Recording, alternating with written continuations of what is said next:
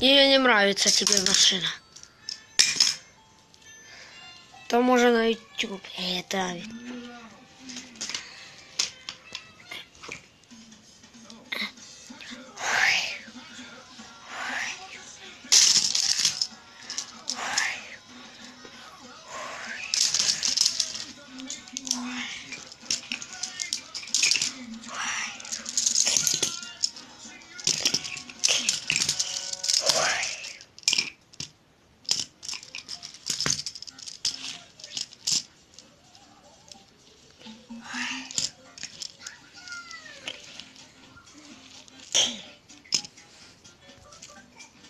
И пока